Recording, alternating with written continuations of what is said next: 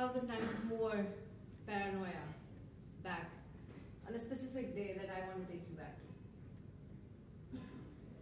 It was the 13th of October, 2022, and I was driving to the salon with my mother and my sister. And I had to look absolutely good. It was a big day ahead for me.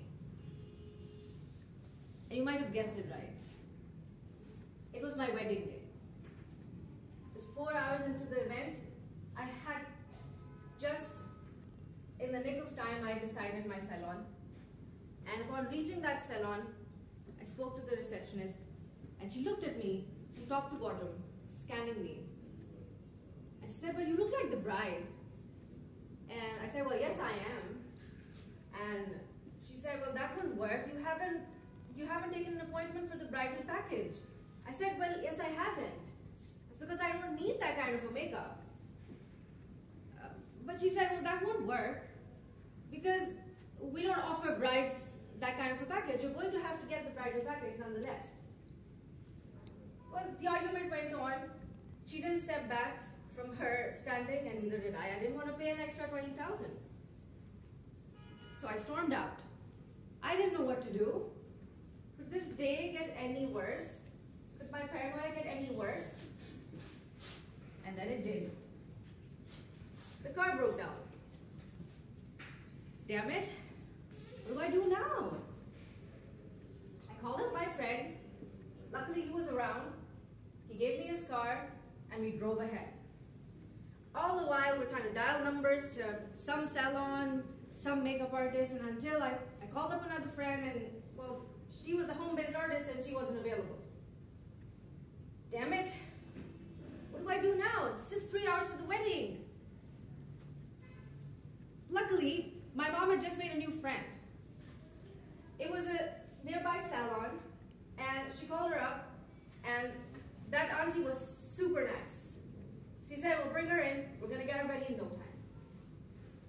And I was like, yes. I'm finally getting some hope from out of this day. So the day went on. I looked absolutely great, I suppose. The pictures say so. Went with full zeal and zest. But looking back at that day, that reminds me, could I have looked as good if it weren't for that friend who brought that car. If it weren't for that call that my mother made to her friend, it wouldn't have been possible for me. It would not have been possible for me to look good all on my own. And that is when it hit me. Success can never be my own. It comes from the inputs of the key players that are playing an important part in my life every day. They are your support system. They are your parents. They are your friends. They can be your spouse. They can be other members of the family. They can be your mentors. They could be your teachers. They can be anyone at all. And they can help you in ways like giving you some gifts, giving you an inspiring conversation, removing a roadblock from your way. And it can also come in the form of life-changing advice. With that, let me take you a few years back. May 2015, my father had died six months ago, I was faced with a big challenge. I had to choose the right kind of degree and the right kind of educational institution for my higher education. And just like any kid's childhood idol, my father was my childhood idol. And I used to discuss, ev discuss everything with him. With him not around, it was definitely a bigger challenge I went by my exams. It was my A-levels. And on, my, on the last day of my A-levels, my best friend's father came up to me and he said, Beta, do whatever you like. But let me tell you something. The future is in technology.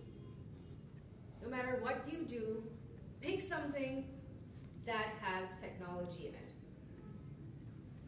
And even though I didn't like it at that time, my mom forced me to take that advice.